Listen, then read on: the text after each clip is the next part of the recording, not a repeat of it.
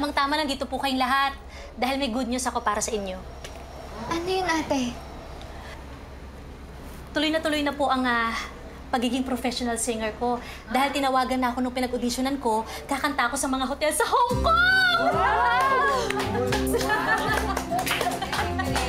Congrats, ate darling! Pero ate darling, paano ko yung barberia? Si Karen na muna ang bahala sa gupitan. Kasi lahat naman ng training na ibigay na sa kanya ng papa. Aling Rebecca, Mang Tomas, di ba meron ho kayong balak magtayo ng karinderya?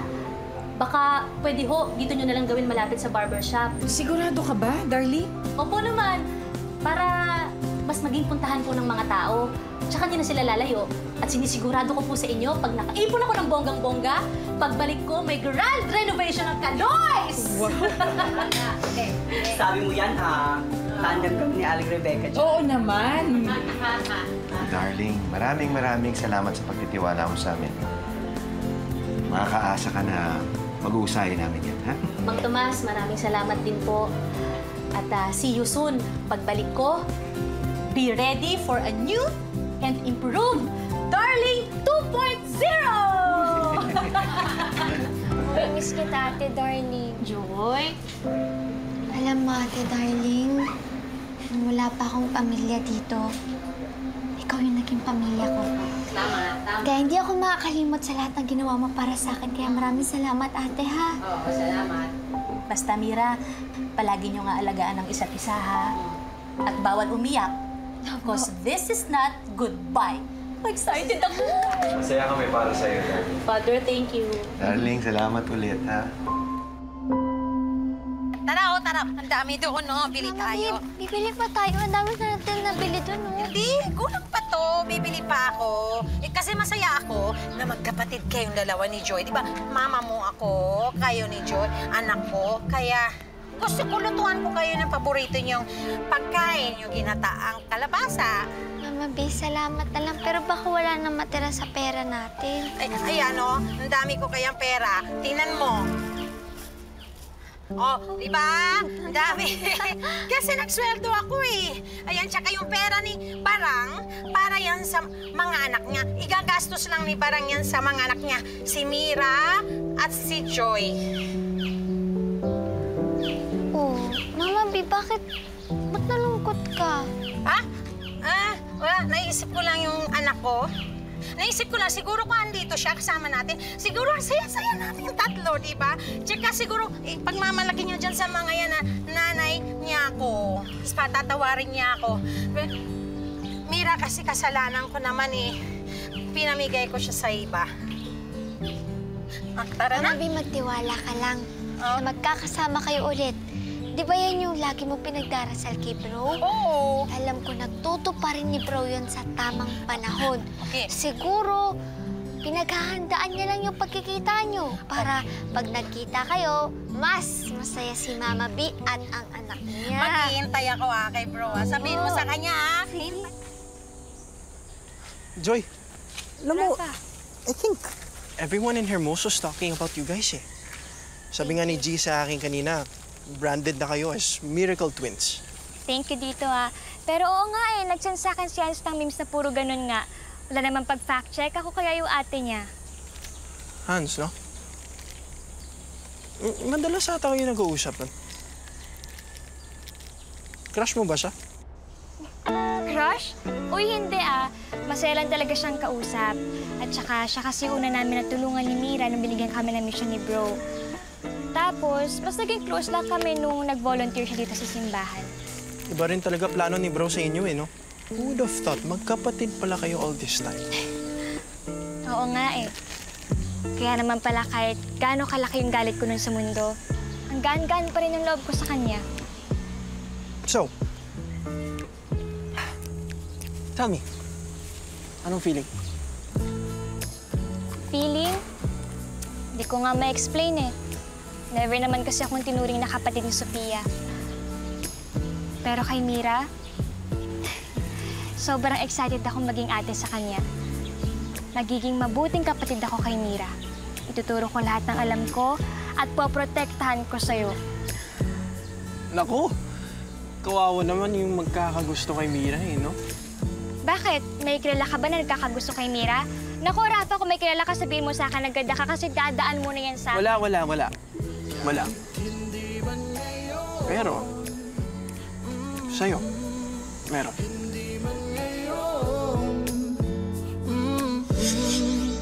Kawawa naman yung magkakagusto kay Mira eh, no? Bakit? May kilala ka ba na nagkakagusto kay Mira? Naku, Rafa, kung may kilala ka, sabihin mo sa akin na ganda ka kasi dadaan mo na yan sa... Wala, wala, wala. Wala.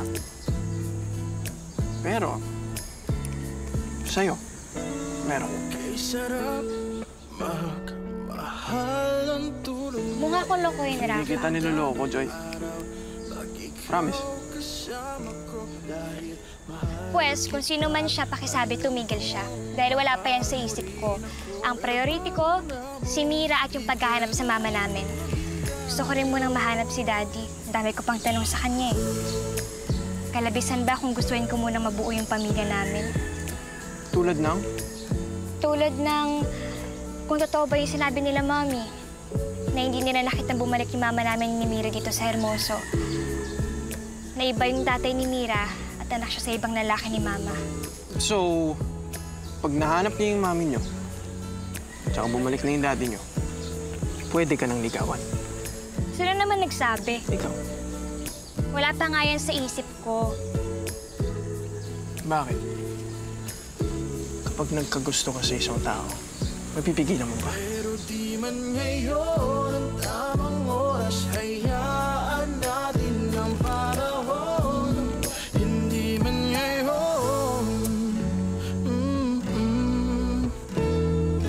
Oo, isa-isa, dala-dala, dalawa yan. Ikaw yung batang naghihimala, di ba? Asan yung kapatid mo? Ha?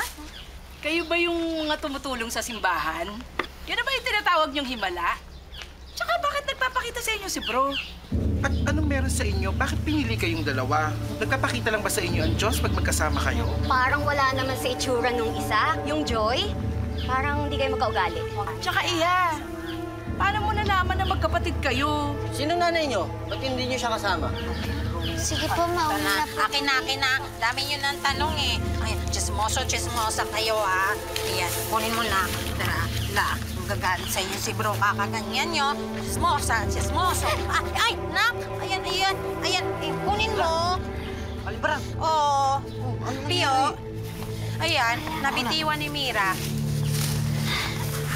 ayos ka lang? Ah, oo. Pio, nadulas lang sa kamay ko. A- ako na. Ako na, Mira.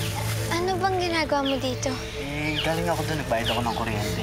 Ayun. Eh, kayo ba? Aling Mira? Ay, bumili kami ng kalabasa at saka gata, pero maraming chismosa. Magluluto si Barang, party kami tatlo mamayang gabi. Ayan, ayun. Pa- Ayos, Aling Barang. Eh, sama na ako. Oo, sige pa. Tara, tara. Yun. Ayan. Sige, salamat. Alis na tayo kasi, you know, chismoso. Ako, Aling Barang. Tulungan ko kayo magluto mamaya. Oo naman. Tara, tara. Ang chismoso. Tara, tara. La.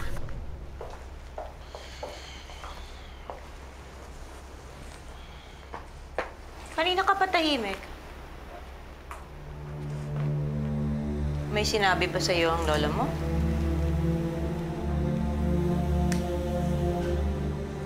Ano man? Eh si Deborah. Nakita ko kayo nag-uusap.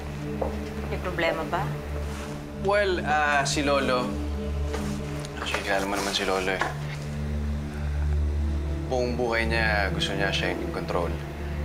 So, gagawin niya ang lahat para bumalik yung mga nawala sa kanya. Pero walang problema. Wala, wala talaga. Walang problema na hindi ko kayang ayusin. Hey. I know you're trying to make us work. Kaya dito sa baby na dinadala ko. Pero for that to happen, I, I need to be able to really trust you. I know. And inuulit ko, hindi ako magsasawang patunayan ang sarili ko sa'yo. At magiging baby natin. Sige na. Shower muna ako. Excuse me.